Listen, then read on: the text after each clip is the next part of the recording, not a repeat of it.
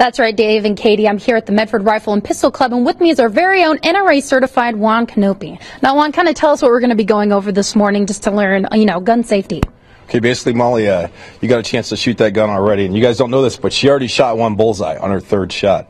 So basically, what we're going to cover today is the five fundamentals of shooting, which consists of aiming, hold control, breath control, trigger control, and follow through. And we're also going to cover any kind of malfunctions. There's three major ones that can happen. You can get a misfire, a hang fire, or a squib load. And I'm going to show you how to clear those in case that happens.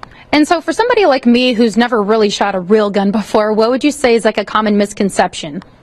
That they're scary because as you saw the first time you did it, you, you calm down on your second and third shot and hit a bullseye. And then basically you're in control of the gun. A lot of people are uh, think about safeties on a gun, and the true definition of a safety by the NRA standards is a safety is a mechanical device that can fail. You're the safety. So guns are neither safe nor unsafe by themselves. Oh, well, coming up in just a few minutes, hopefully, hopefully I'll be able to hit another bullseye for you. I don't know if I can do it under You pressure, but we'll check it out. So back to you, Katie and Dave.